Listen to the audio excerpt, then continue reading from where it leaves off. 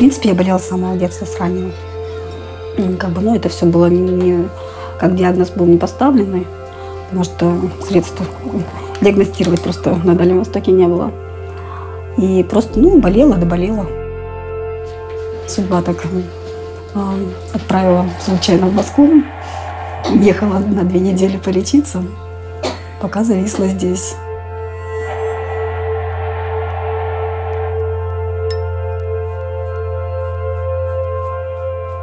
В марте, 9 марта я прилетела. Ну и доктор после обследования сказал, что мне нужна трансплантация.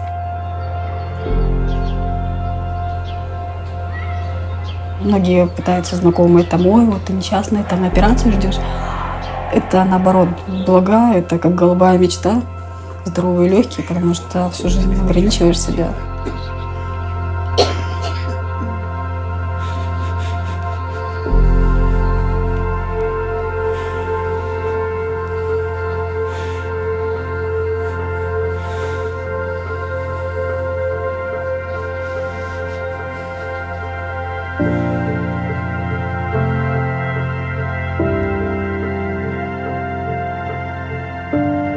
Лошадей на ферме держали для того, чтобы пасти летом коров.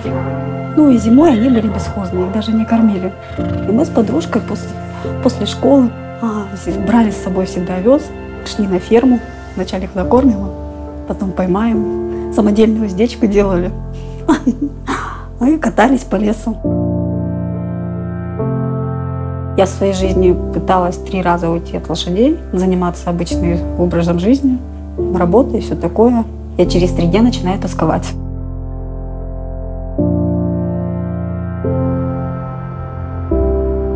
Когда ездишь на лошади, это непередаваемое чувство свободы, чувство независимости, чувство полета.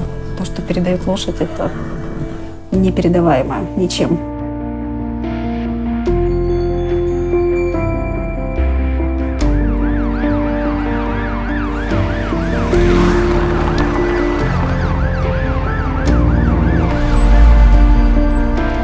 Муковисцидоз – редкое врожденное заболевание, поражающее внутренние органы человека.